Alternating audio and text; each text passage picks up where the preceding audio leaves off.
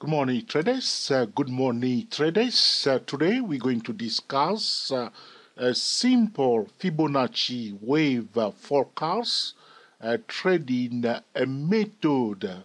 All right, so there is a video already uh, posted at 24 Elliott Wave YouTube channel. Uh, the title of that video, How to Combine Fibonacci and Elliott Wave Strategies. All right, that video has been a very popular video for traders to know how to combine Fibonacci and Elliott wave uh, principle. So today we want to use a specific uh, Fibonacci ratio to forecast, okay, the end of the fifth wave. All right. So you will notice if you are already a subscriber to our channel, I have been recording a video about how to use the Elliott wave channels to forecast the end of the fifth wave. So if you have already watched it, good. So this is one way to focus, okay, uh, the end of the fifth wave. There are many ways that we can focus the end of the fifth wave. And today I want to reveal to traders the secret of using Fibonacci ratio to focus the end of the fifth wave. All right, so now we are maturing, okay, as Elliott wave practitioner, we know now, we know the guidelines that we should follow when we want to count wave. Now we want to go to the next stage, which means we want to start forecasting the financial market. And if we are trying to forecast the end of the fifth wave, we are trying to pick the top of the market or to pick to predict a reversal Okay, so if there is a trend, the trend will be formed of the first wave, second wave, third wave, fourth wave, and the fifth wave. And at the end of the fifth wave, we are expecting a reversal to the downside after an uptrend, and we, we are predicting okay a reversal at the end of a downtrend. Okay, a bullish reversal at the end of a downtrend when we are trying to forecast the end of the fifth wave. So allow me one more time to say to traders that when we are talking about uh, wave forecast is an expectation, it's not an exact science, it's not guaranteed that what we are expecting, that's exactly what will happen. But we, we are using the Elliott wave forecast to have a bit of idea how the market will behave. And if the market is fulfilling our expectation, so to speak, we have an edge and we can profit from it in the financial market.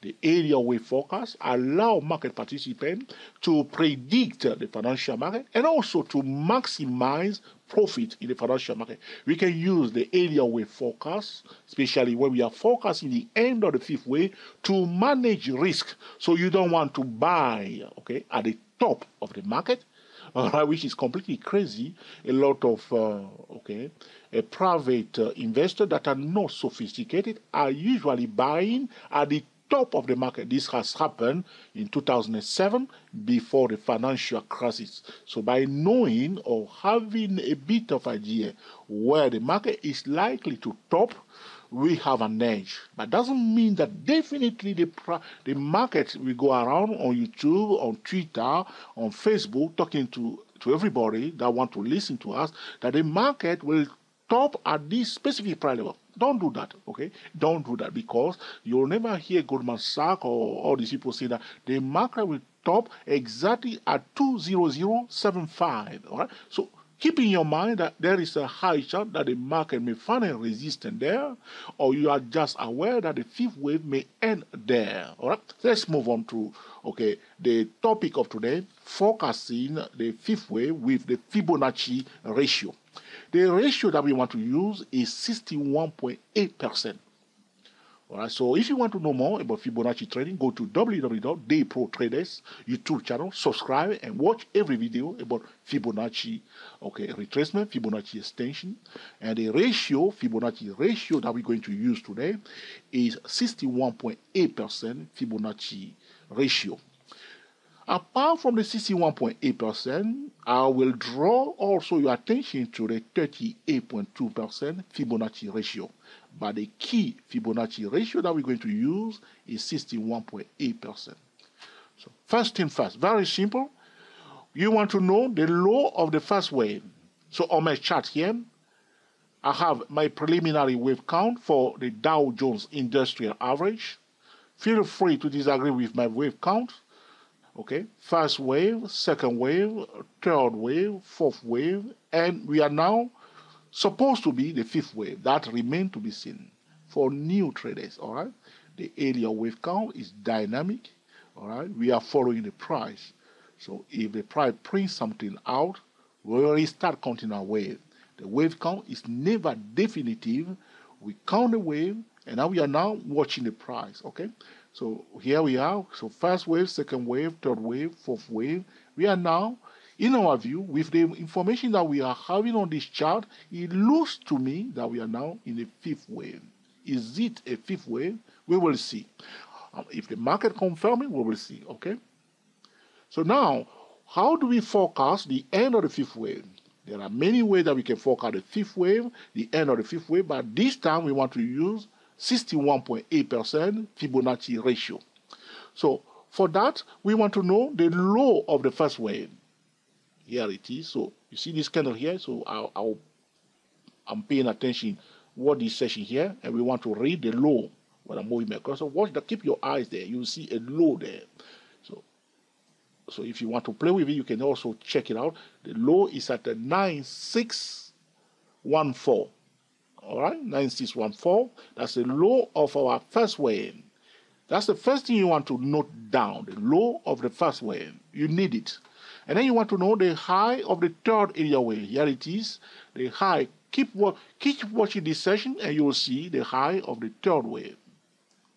The high of the third wave is at 1851. We already know it. That's the turquoise line on my chart because I see to traders that are trading the Dow Jones priority to bullish signal above that level and priority to bearish signal below that level. A video that I have posted at 24 stock trader YouTube channel, the most recent video about the Dow Jones Industrial Average. Hold on a second, I'm looking in my book here because I know that every video that I posted on YouTube, I'm looking for the title of that video, so I may give it to you if you want to check it out. Uh, Dow Jones Index, Advanced Technical Analysis, Tips and Tricks, Dow Jones Index, advanced technical analysis, tips and tricks by 24 Stock Trader YouTube channel. All right. So we want to know the low of uh, the first wave and we want to know the high of the third Elliott wave. The next stage, we use the high of the third wave minus the low of the first wave. All right. So if my calculation is correct, if you do that, it will come up to 8737. So the, the high of the third Elliott wave minus the low of uh, the first wave. That's the first thing you need to compute. So according to my calculation for the Dow Jones Industrial Average for this example, this illustration is exactly at the high minus the, the high of the third wave minus the low is 8737. All right roughly, all right? But then, then we will multiply the result by 61.8%. Not 61.8, but 61.8%. Don't forget the percent, okay? So the high of the third Elliott wave minus the low of the first wave multiplied by 61.8%. All right? If you do that with for Dow Jones, you will you will get okay 5399. That number is very important for us because we will use it to forecast uh, the end of the fifth wave. So the high of the third Elliott wave minus the low of the first wave multiplied by 61.8%, we will get uh, 5399 for the Dow Jones. So whether you're on a five minute time frame, hourly time frame, daily time frame, counting the Elliott wave. Now you are the end of the fourth wave, and the fifth wave is underway. Very important. The fifth wave should start first before you start doing that exercise to forecast the end of the fifth wave. So the fifth wave is now starting. Now the question is that where will it end? We want to have a bit of idea where the fifth wave is likely to end. We will use Fibonacci ratio 61.8%.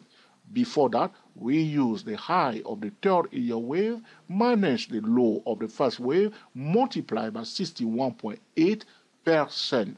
That number that we get for the Dow Jones is exactly 5399. Now, the number that we get, we will add it to the low of the fourth wave. Is it getting too complicated for you? All right, it's not difficult. It's just adding numbers. It's not difficult. It's not pure math. All right, it's not algorithm. All right, okay. So it's not complicated. Nothing special. So high, the high of the third wave minus the low of, uh, okay, the first wave. You get one number. That number you multiply by 61.8 percent. Then you get another number. The number that you will get after multiplying by 61.8 percent, you will add it, add it to the low of the fourth wave, and that will give you a key level.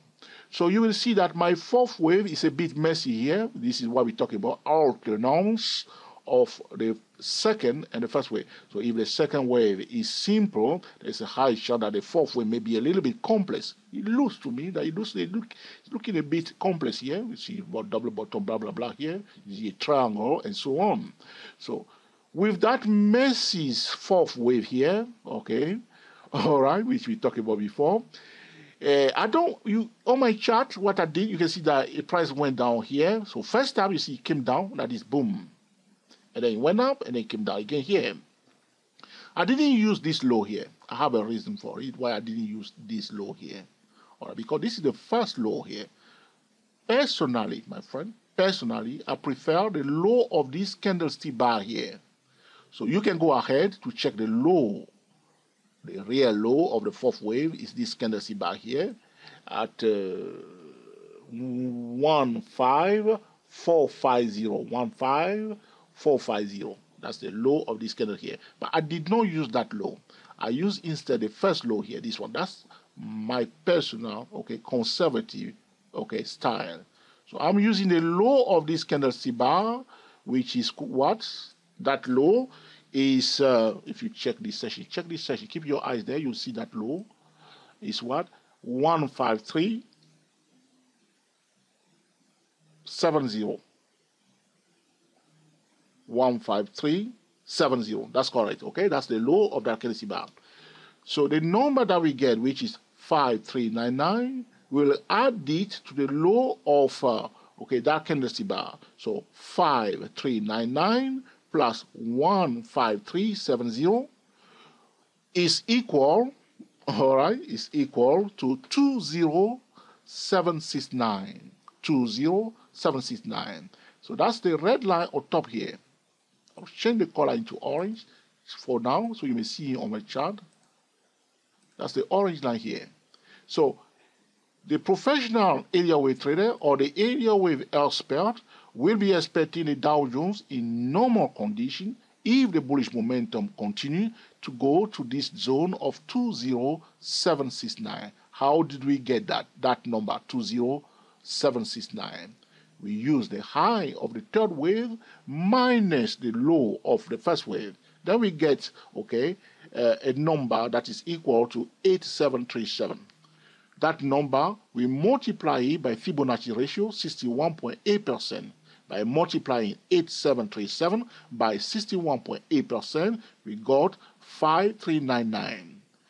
Now we add the 5399 to the low of the fourth wave. I'm using this low here for the fourth wave, which is 15370. Therefore, 15370 plus 5399 is equal to 20769. This is the level of uh, uh, the, the, the, uh, the, the, expectation that if in normal condition, this is a, a key resistance for the Dow Jones, a possible okay top for the market. By using a Fibonacci ratio, 61.8%, we have a bit of a idea that the Dow Jones, if, repeat, this, this is the attitude I want you to get. If it continue to go up, don't think that it will go there. No, no, no. Don't, don't think that way. If it continue to go down, go up, and come near this level, there's a high chance that it will start changing direction. That's all. This is our expectation. We have a bit of idea what can happen. but now we wait for it to happen. All right, okay. So we know that okay, we should be giving priority to bullish signal, but only above 153, 183 above uh, okay 18353. I told you before. All right, check that video. Okay. All right. So we have the, the, the, the target. Okay. We have forecast the possible possible end of the fifth wave. I'm choosing my word carefully. Possible end of the fifth wave. What I'm trying to do by uh, talking to you like this is uh, to prepare you so you do not use the Elliott wave like a lot of uh, okay other traders are doing. Okay, I want you to be more okay conservative more professional when you are using the way, like you are dealing with uh, a lot of money and you don't want to lose. Okay, first rule, not to lose. Second rule, do not forget the first rule that stated that do not lose. Okay, so that's what we are doing here. So forecast 20769. Will it go there? That remain to be seen. All right. So if for the price to go above that level, to go to the target level 2079, 20769 to reach that level, he must first break above the 8, the 1, he must goes, he must first break above the resistance at 18351 and then find the support and then start go displaying high lows high high before it can reach that level one step at a time okay now this is what the market analysts, the Elliott wave expert are aware of that level for the Dow Jones 20769. Okay? But personally, okay, I will tell you another thing that you can do. Apart from using the 61.8% that a lot of experts will use, I recommend to 24 Elliott wave subscribers to use also the 38.2% okay ratio. So what do I mean? So we compute the high of the third Elliott wave minus the low of the first wave, okay, in this case is equal to 8737, and then we multiply it by 38.2%. If you do that, you'll get 3337, 3,337. Then you add 3,000, you add 3,337 to the low of our fourth Elliott wave. I'm using this one here. And you will have another conservative target for the end of the fifth wave that is equal to 18707. So instead of having only one target for the for the end of the fifth wave at 20769, now we have two targets. The first target, we are using a Fibonacci ratio, 61.8%. My recommendation is to use also, also the 38.2% Fibonacci ratio to have another target for the uh, fifth Elliott wave. By doing that for the Dow Jones, we have another target at 18707. That level, look carefully, my friend, is I, I can place it. Let's see whether I can place it on my chart. Is somewhere here.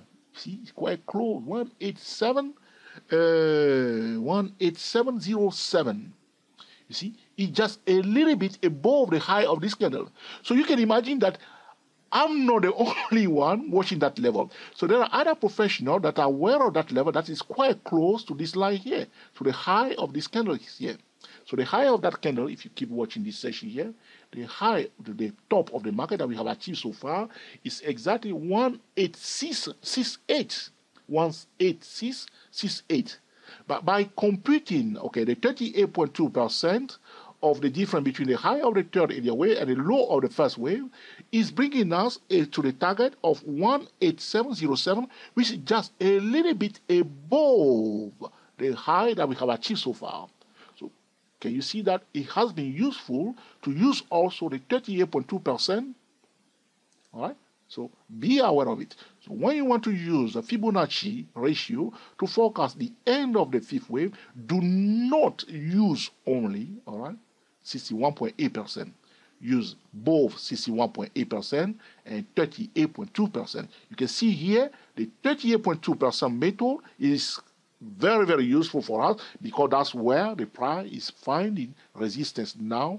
Okay, that level for the Dow Jones is at 18707. Isn't it powerful to use Fibonacci ratio to have a bit of idea where the fifth wave is likely to go. But the challenge that we face first is to count the wave correctly. So if your wave count is wrong, you may get it wrong. But it will be useful in all cases by applying this method. Which the most important thing is that you do not violate okay the basic Elliott wave principle. All right. So here we are. So by using my wave count here, first wave, second wave, third wave, fourth wave, and the fifth wave, you can see that I'm not the only Elliott wave uh, trader that is counting the wave as I'm doing now because you can see that the market is finding a resistance at a 38.2%, okay, multiplied by, okay, 8737, all right? Are you getting it now? Very simple. You can apply this method on any time frame. All you need to do is to know the high of, okay, the third wave, you want to know the low of the first wave. That's all you need to know. Two things. The high of the third Elliott wave and the low of the first wave. Now, first step. First step, my friend. The high of the third Elliott wave minus the low of the first wave. For the Dow Jones is equal to 8737. Good. Then you multiply that number by 61.8% or 38.2%. You need to do both. So first you do 61.8%. By doing that for the Dow Jones, you will get 5399. That result will add it to the low of the fourth wave, and that will give us the first target for the end of the fifth wave. Then we will also use the 38.2%, which means the high of the third Elliott wave minus the low of the first wave multiplied by 38.2% plus the low of the fourth wave that will give us okay the first uh, target, the first minimum target for the end of the fifth wave. This is how we can use a Fibonacci ratio okay to forecast the end of the fifth wave. Is it too complicated for you? No, just to calculate. So if you don't know how to calculate, you can use a, a calculator to calculate to help you, all right? The high and the low, the high of the third wave and the low of the first wave. That's all. With those two numbers, you can multiply them by 61.8%. You get a result. You add it to the low of the fourth wave. All right, and then you will do you do use again uh, the high of the third Elliott wave minus the low of the first wave. You multiply by 38.2%, and then you add it to the low of the fourth wave. If we were in a downtrend, what will you do? You will not add it to the low of the fourth wave. What will you do? So in a downtrend, we'll see something like this. Because the market, the normal progression of the market is up, that's why I'm using a bullish example. You will notice that in my video, uh, I'm pleasing more, all right, the bullish traders, all right, okay, because the natural progression of the market is bullish. And also, a lot of uh, our subscribers and Americans, and Americans, and, uh, and Americans are quite bullish. They like the market to go up forever. Okay, so now, okay, so in a downtrend, you will not add that number to the low of the fourth wave. That will be completely wrong. You will use the high, repeat, in a downtrend in order to use Fibonacci ratio to forecast the end of the bearish fifth wave we will use the high of the fourth wave minus what we get. What do you mean by what we get? All right, so we'll use in a downtrend. How do we do it? We use the low. Okay, so it will be like this. So here we are. We will use instead the low. Oh, here we are. So that in fact this is not the low. We will, we will use instead the high. So we use the high, okay, of the second wave. Okay, the high of the second wave minus the high. Uh, oh, where are we? Where are we? Oh.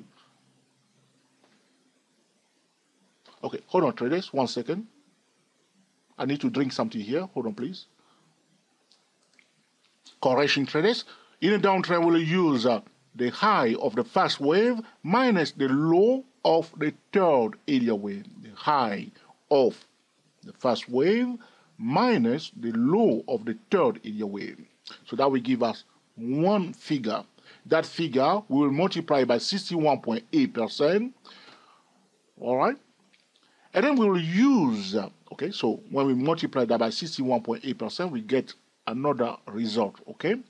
Now we'll use, okay, the high of the fourth wave minus that result to get uh, the end of the fifth wave. Are you getting it now?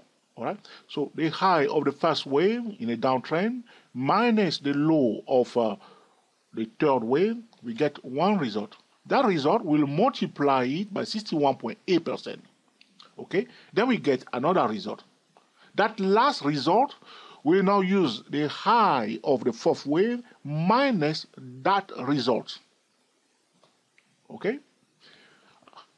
To get the next, okay, forecast for this, the, the end of the fifth bearish wave, we'll use the high of the first bearish wave minus the low of the bearish, uh, minus the low of the third bearish wave, we get one result. Then we multiply by that by 38.2%. Okay, that's the last result. That last result, we use again the high of the fourth wave minus the last result. So what I'm calling the last result is the high of the first wave minus the low of the third Elliott wave multiplied by 61.8% or the high of the first wave minus the low of the third Elliott wave multiplied by 38.2%. That is what I'm calling, okay, the last result. That last result in a downtrend will use the high of the fourth wave minus that last result. And we'll get, okay, the estimation of the end of the fifth bearish wave. All right. If you have any question or suggestion or comment, put in the comment section and into course, I will be busy recording another video to answer your specific question. To summarize this video, we are using a Fibonacci ratio, 61.8%, and we are also using 38.2% Fibonacci ratio. Those two ratios will help us to forecast the possible end of the fifth Elliott wave, either in an uptrend or in a downtrend. In an uptrend, how do we get to that uh, forecast? We use the high of the third wave minus the low of the first wave. We multiply either by 38.2% or 61.8%. That result will add it to the low of the fourth Elliott wave. In a downtrend, what we will do, we'll compute, okay, the difference between the high of the first wave and the low of the third Elliott wave. Then we multiply either by 61.8% or 38.2% that result, we'll use the high of the fourth Elliott wave minus that last result to get, okay, uh, uh, the forecast for the fifth Elliott wave. I hope I have made myself clear or I have explained this clearly to you, all right, that you have, will find this video useful. But the, the, the best approach, as I always say to trainers, you learn something new for the first time, uh, use a demo account, practice, and learn and master it. As you start uh, using it, uh, practicing, okay, you are trying to put it now into you, you will see uh, different challenges, all right? Now, in order to make better decisions, I will, I will recommend that you also use market geometry. So you see a channel like this. So we talk about how we forecast the, the end of the fifth wave using pitchfork tool, using a Fibonacci extension, using the Elliott wave channels. Do not forget all those things. So as you are applying now, now that you are using the Fibonacci ratio, don't forget everything now that we have discussed before, the other methods that professionals are using to determine the end of the fifth wave. And again, do not fall into the trading mistake that a lot of Elliott wave traders are making, which means uh, they will expect their expectation to be exactly what the price will do, and they will go before the price. Don't go before the price. So now that we see that the price came quite close to the the, the, the, second target, which is 18707 for the, for the uh, Dow Jones, you can see that the price found a bit of resistance here. As an Elliott wave okay, uh, analyst, we know that there is a, a target here. So we are monitoring the reactionary price here. If we receive a sell signal below that level of 18707, we will take it. All right, we will take it because we know that there is a target there. But if it breaks above that target and find a support, we will be looking up to the next target at 2069 because we know something that other traders do not know. Then, if it's taking place, we have an edge and we take advantage of it. But we do not want to rush and be aggressive and uh, throwing all our saving onto one basket, saying that definitely, George, I believe you. Last time you said it, it happened exactly that way. Now that you are saying it, George, don't fool me. It's going to happen exactly that. Way. Don't do that, okay? Don't do that. This video is for educational purposes only. It's not a solicitation or an offer to buy or sell any financial instrument. All right? Very, very important. This is the end of uh, this tutorial about uh, simple wave forecast, uh, a simple Fibonacci wave forecast, a trading method. I hope you will find it useful and will put into use to improve uh, your wave forecast. We are the TSTWSYS008 uh, traders talking about a simple uh, Fibonacci wave forecast, a trading method wish you the very best in your trading. And until the next time, enjoy yourself and be very happy. Speak to you soon.